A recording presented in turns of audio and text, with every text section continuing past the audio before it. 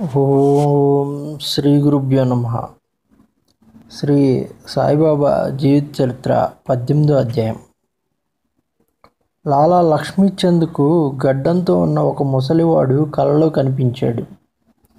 తరువాత దాసుగుణు మహారాజ్ చెప్పిన హరికథకు వెళ్ళినప్పుడు ఆయన షిరిడి సాయిబాబా అని అతనికి తెలిసింది. శ్రీ సాయిని దర్శించాలని ఆతృతతో అతను పదిహేను రూపాయలు అప్పు చేసి షిరిడి వచ్చాడు.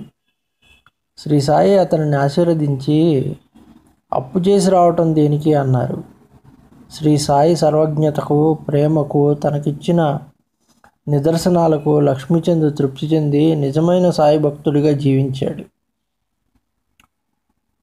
శ్రీరామ భక్తుడైన ఒక రామదాసి కొన్నాళ్ళు సాయి సన్నిధిలో ఉంటూ ద్వారకామాయిలో కూర్చొని విష్ణు సహస్రనామ పారాయణ చేశాడు. శ్రీ సాయి ఒకరోజు రామదాసుని పిలిచి సోనాముఖి ఆకు తీసుకొని రమ్మని బయటకు పంపారు. అతను వెళ్ళగానే సాయి అతని పుస్తకం తీసుకొని శ్యామ అనే మరో భక్తునికి ఇచ్చారు. రామదాసు వచ్చి తన పుస్తకం తనకిమ్మని శ్యామని అడిగాడు. బామ బాబా ఇమ్మంటే ఇస్తానన్నాడు శ్యామ.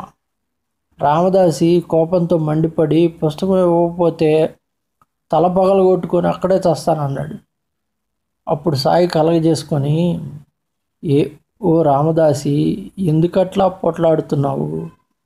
ఏం రామదాసు అయ్యా నువ్వు?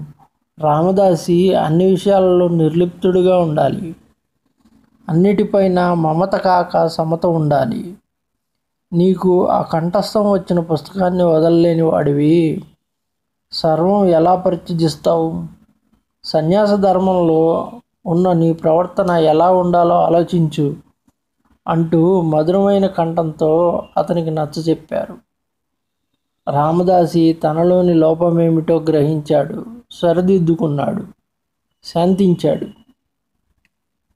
ఈ విధంగా సాయిబాబా తన మహిమల ద్వారా ఎంతోమందికి జ్ఞానోదయం కలుగజేశారు.